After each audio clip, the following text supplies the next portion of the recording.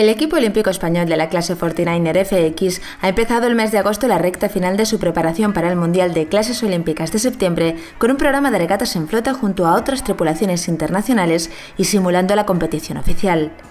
En este vídeo el equipo de Berta Betanzos y Tamara Chegoyen nos explica cómo va a seguir su entrenamiento hasta el inicio del Mundial y hace balance del verano.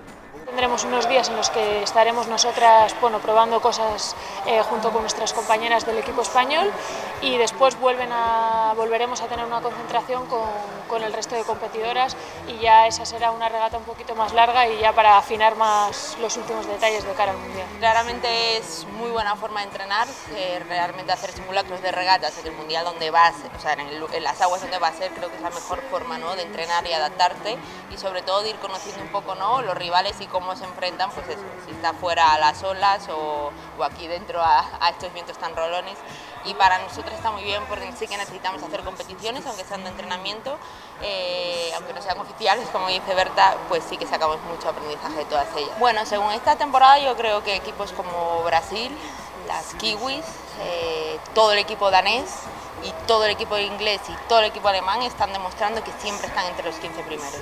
Luego estamos Berta y yo y algún otro país eh, que a veces nos metemos un poco más arriba, un poco más abajo, pero creo que son rivales muy fuertes que tienen mucha experiencia en este barco y se le nota la mano que tiene y, y lo rápido que se adaptan, ¿verdad? A cada campo. Siempre no, es, es un lujo poder estrenar un barco nuevo.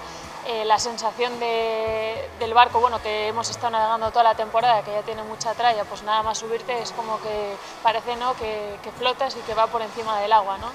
Y bueno, la verdad que todavía no le hemos querido dar mucho, mucho uso para tenerlo, bueno, para que lleguen las mejores condiciones para el Mundial, pero, pero bueno, las primeras sensaciones han sido muy buenas. Bueno, hemos estado en el, trofeo, en el trofeo Princesa Sofía, en la Semana Olímpica de Lleres, en, también en Lago de Garda, en una regata del Eurosaf, eh, después hemos estado en, en el Europeo y creo que me dejó una y Kiel, la Kiel. semana de Kiel.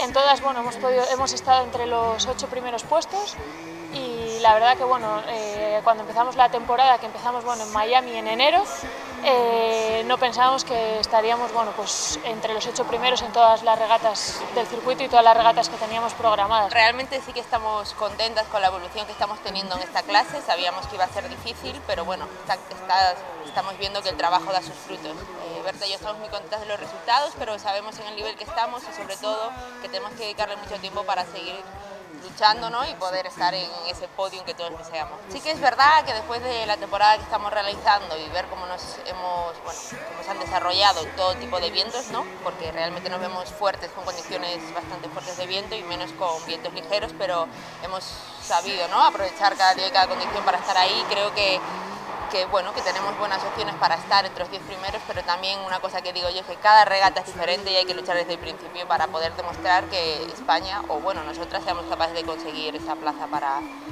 para poder estar en Río.